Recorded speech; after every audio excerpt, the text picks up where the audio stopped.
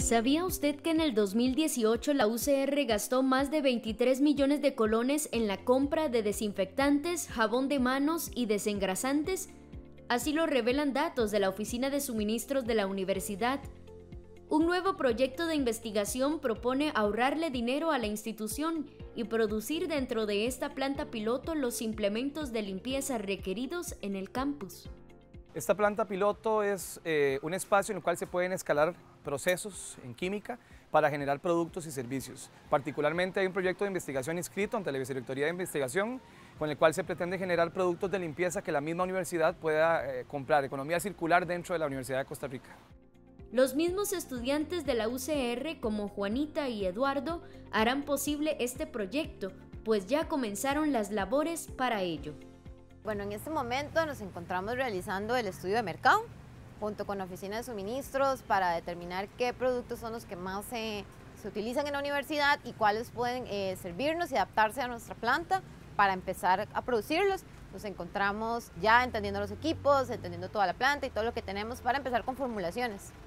Mi aporte concreto es el sistema de gestión de la calidad. El sistema de la gestión de la calidad es este, toda la documentación necesaria para poder nosotros generar productos, para tener procedimientos, para tener todas las buenas prácticas que se deben de realizar en la industria.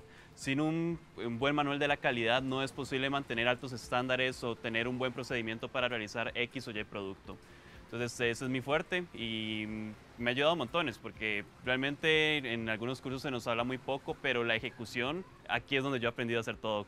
Vamos a empezar con la elaboración de un desinfectante ecomigable porque es uno de los productos o el producto más eh, consumido en la universidad para limpieza. El docente coordinador de la planta piloto asegura que dentro de tres meses aproximadamente se presentará ante las autoridades universitarias un prototipo de desinfectante y espera en un futuro contribuir con otro tipo de productos. La idea es convertir este espacio en un semillero de emprendimientos.